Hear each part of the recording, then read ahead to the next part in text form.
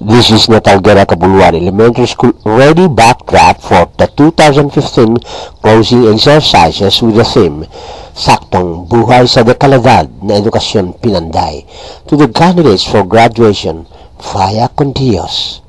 Good luck. For your information only, FYIO.